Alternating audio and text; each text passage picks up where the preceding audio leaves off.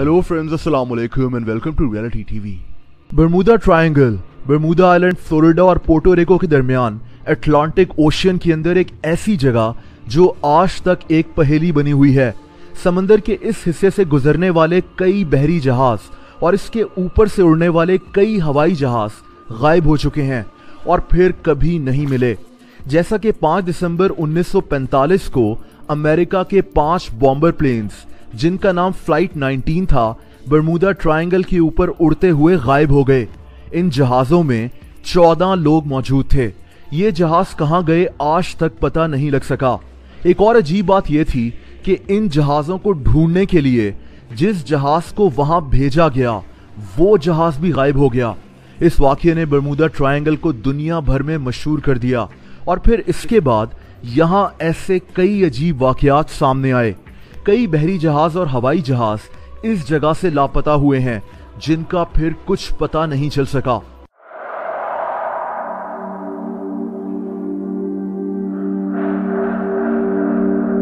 दोस्तों, बर्मुदा ट्रायंगल के बारे में कई थ्योरीज मौजूद हैं। कुछ साइंटिस्ट कहते हैं कि समंदर के इस हिस्से के आसपास बहुत ही खतरनाक तूफ़ान आता है, जिसकी वजह से बहरी जहाज़ और हवा में उड़ते हुए जहाज़ तबाह हो जाते हैं। कुछ एक्सपर्ट्स का मानना है कि बर्मुदा ट्रायंगल के नीचे मिथेन गैस मौजूद है, जिसकी वजह से समंदर में धमाके होते हैं और यही गैस आसमान में खारिज होकर बादल बना देती है, जिसकी जद में हवाई जहाज़ भी आ जाते हैं।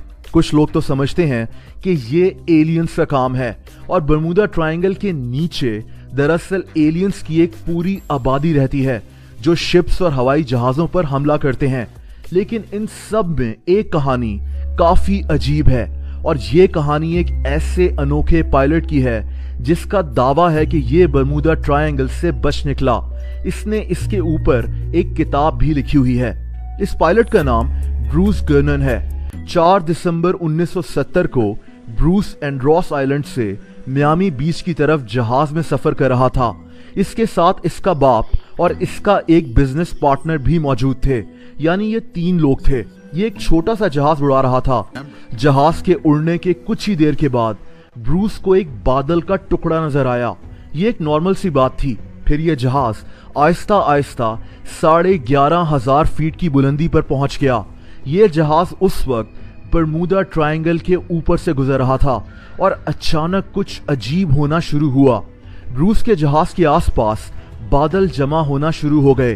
ब्रूस को बादलों के अलावा कुछ और नज़र नहीं आ रहा था। दोस्तों, ये अपना जहाज़ इन बादलों के बीच से निकालता हुआ ले गया।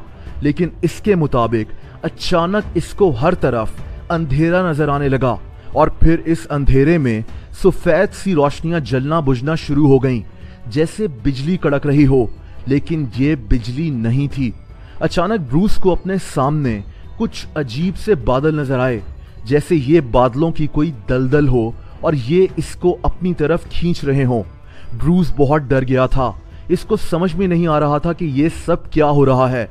और फिर इसको अपने सामने बादलों की एक सुरंग सी नज़र आई।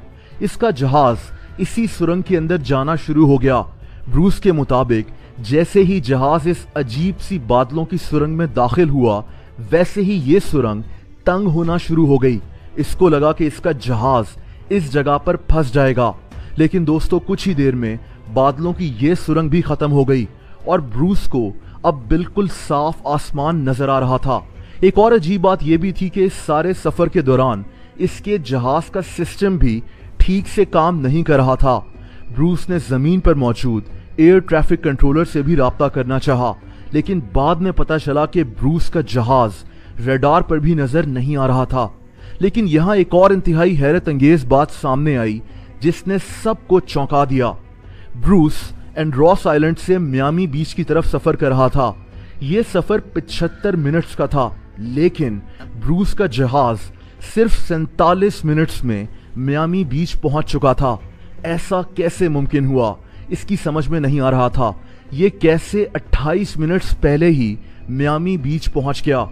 इसके जहाज़ का फ्यूल भी उतना खर्च नहीं हुआ था, जितना म्यामी बीच पहुँचने के लिए इस्तेमाल होता था।